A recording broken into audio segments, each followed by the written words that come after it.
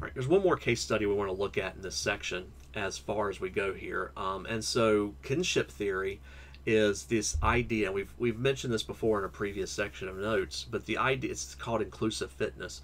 So the idea being is that if you have a brother or a sister, parent, children, if you have a cousin, you share a lot of genetic material with them. If you've ever done Ancestry DNA or 23andMe, any of those sites, I'm not sure that I recommend them. I've done them, but there's some questionable things about them. But if you've ever done them, you can see how much of your DNA you share with these people. You share copies of the same alleles. So, because of genetic similarity between individuals, it's often expected that we would see cooperative behavior, meaning we're going to work together, or altruistic behavior, meaning that I will sacrifice myself to save you if that's what's needed. And the survival of one's kin basically helps propagate one's own genes, is the idea behind why this occurs. So we're going to look at a case study here with kinship that happens in naked mole rats. And so you probably know naked mole rats from the show Kim Possible with Rufus. But the naked mole rat, um, Heterocephalus glaber, live in tropical Africa. That's where they're found naturally. And they were the first vertebrates that were discovered to exhibit the trait of eusociality, which is an extreme form of sociality that we only normally find in insects certain insects groups. So this is the behavior that you would expect to see in ants and bees, those types of insect and termites, those insects that have a queen and they have worker animals and things like that. So what exactly is eusociality? Pretty sure that's how you pronounce it because it's true sociality. It's EU, I'm pretty sure is the Greek for true. Let me look that up real quick. I probably should have just started over, but yeah, it means good, apparently. So good sociality. Um, so there are three requirements for this eusociality. A reproductive division of labor, in which individuals of certain castes, and caste here refers to like echelons of society. So it's this idea that maybe, um, you know, only the you know, like the rich people, the upper class, middle class, lower class, you know, so the nobles versus the common folks, that kind of idea. That's what that's what that word means if you're not familiar with it. But in a certain caste, they reproduce, other individuals do not. So you have a queen or you have a king or a prince, something to that effect, and no, nobody else reproduces. Number two, overlap in generations such that individuals of different generations are alive at the same time. And number three, the communal care of the young. Um, so everybody takes care of the young, lots of generations of the same species, which gives a lot of chance for inbreeding. You know, so there, there's something to be thinking about with that um, that could go into this as well as we move along here. So, um, the naked mole rats, interesting fact, I did not know this about them myself, but they live the longest of all rodent species. Apparently, they can live as long as 30 years.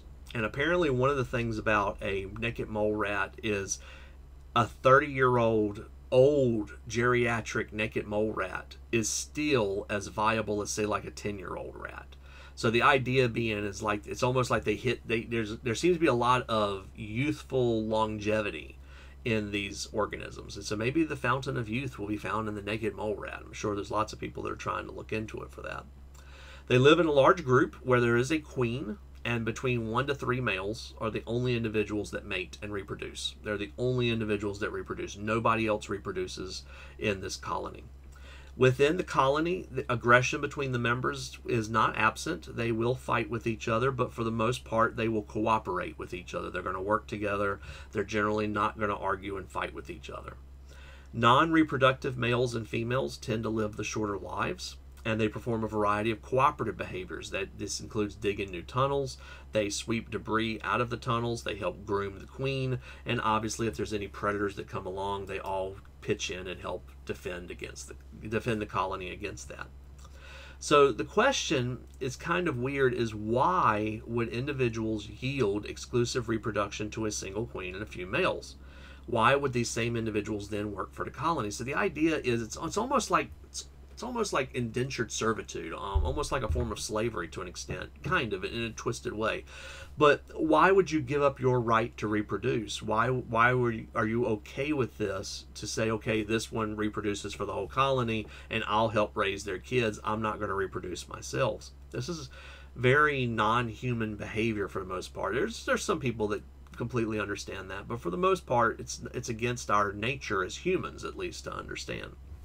And the idea here is that this really goes into the genetics of the naked mole rats. Now, I doubt that the naked mole rats realize they're as genetically related as they are, but um, Hudson Kern Reeve and his colleagues used DNA fingerprinting to compare bands of DNA in a colony.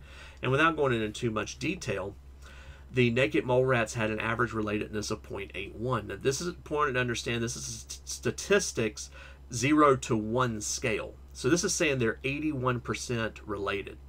To put this in perspective, unrelated individuals have are zero. They're 0% similar genes. Siblings, meaning that you got half your DNA from your mother, half your DNA from your father, and your brother or sister got the same thing, you have 50% or 0.5 relatedness. 50%. Naked mole rats are 81%. Identical twins have a score of 1.0 or 100% genetic similarity. So between the realm of brothers, brother and sister and identical twins, brothers or sisters in that case, naked mole rats actually tend more towards the identical twins part of that spectrum and less towards the brother and sister um, part of that or siblings part of that segment. So it's thought that in part because of the high levels of inbreeding in the past and even till today, a lot of mating between co- um, cousins, that it's just not in the evolutionary benefit of these naked mole rats to breed with each other because then you would have too many too much inbreeding and you would start to have genetic defects. And so it's almost like there's something in the naked mole rats that realize we probably should not inbreed. And so they only inbreed they only breed a little bit um, and then everybody else just kind of chips in. And this kind of just shows various strains, natural strains, domesticated strains, and laboratory strains of relatedness between various animals to kind of give you an idea. So you can see this probably with horses and pigs, cats and dogs, a lot of inbreeding to get to these artificial selections, um, thanks to the humans. Inbred mice, you know, get pretty close up, but those are laboratory that are done there. I don't know what exactly the specific example is with Japanese quail, but the naked mole rats are green. They're a natural strain, and between colonies, only a little bit above 0.6, but between colony, but within a colony, 0.8 to 0.9 very much almost almost like identical twins between themselves and they don't compete with each other. They work altruistically to work with this. So very interesting fact about the naked mole rats